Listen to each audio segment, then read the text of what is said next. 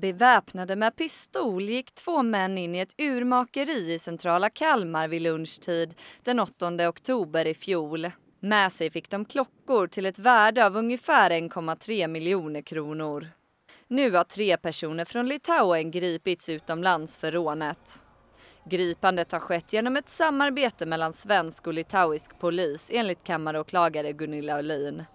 Efter rånet i oktober försvann rånarna till fots och polisen valde då att gå ut med en efterlysning via Facebook med övervakningsbilder på rånarna. Sedan dess har ett omfattande polisarbete skett och för en vecka sedan greps två personer i Litauen och en person i Oslo. De har ännu inte överlämnats till Sverige men mannen som greps i Norge har redan samtyckt till att bli överlämnad.